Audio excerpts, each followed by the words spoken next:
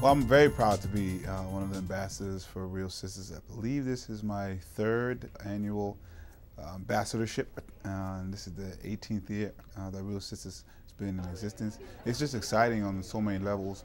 Um, one, the, the focus on uh, African Americans, uh, the focus on African American and black women, and the fact that it's filmed. It's just a lot of things that I am very much interested, interested in.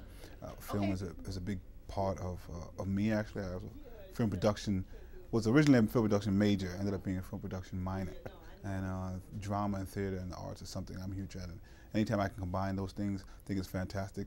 And a lot of the content that comes out of Reel Sisters, I think is uh, very political and activist in nature, uh, which is also good. So it's just exciting to be able to do that.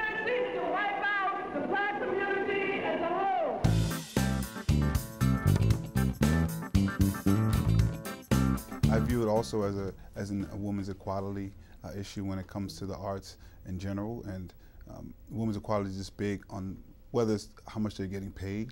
You saw a lot of that with the women's soccer team, um, and how much they're actually in control uh, of the industry that they're a part of. Uh, so uh, my mother happens to be a woman, and my sister as well. So these issues are always uh, very big to me. And then you you combine that with the fact of if there if you don't have a certain amount of control of it, then the content that's being put out there, how you're being perceived, um, may not be the reality of, of who you are.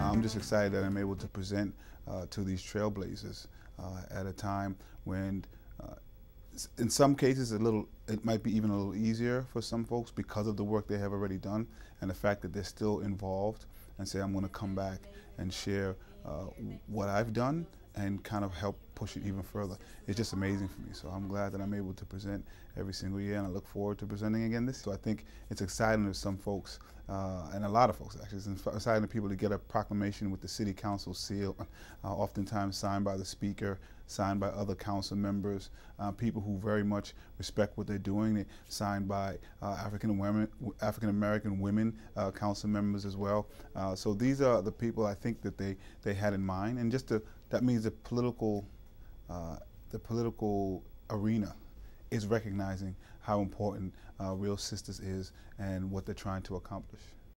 And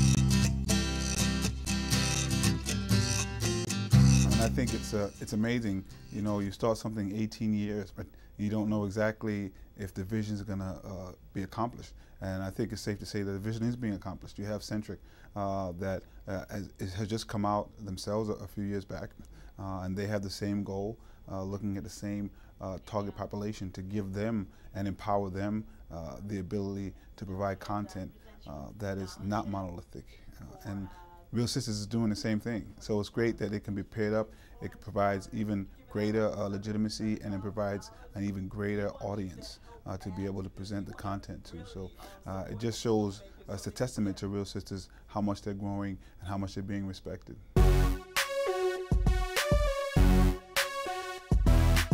Well, I'm BK all day, so uh, I'm always excited when Brooklyn's being promoted. Uh, it's just something that brings a lot of joy to me the fact that people come from all over the world to Reel Sisters shows uh, the wide girth that Reel Sisters have and the reach that it has. Uh, Brooklyn has seen a, res a resurgence uh, in, in, in, in, many, many ways, and uh, not every part of Brooklyn actually has felt that resurgence. And I believe that Reel Sisters uh, focuses on a population that may not have felt the resurgence and may have felt the benefits um, of the, the tourism and, and the attention that some of the other parts of the borough has. And so I think some of the content that's presented in Reel Sisters also helps uh, people uh, recognize and see the entire borough, uh, the borough in its entirety and not just a couple of neighborhoods they may have heard of. So all those things make it fantastic uh, for the, that population and for Brooklyn as a whole, I think it's great. I definitely try to take a look at the vendors. Um, I'm usually in and out, but I'll try to see if I can pick up something. Definitely the food. Um, I'm from Brooklyn, so yeah. I'm, I'm, home.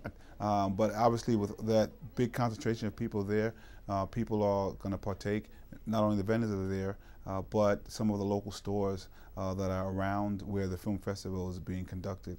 Obviously, everybody knows Junior, so you may want to uh, take a dip there.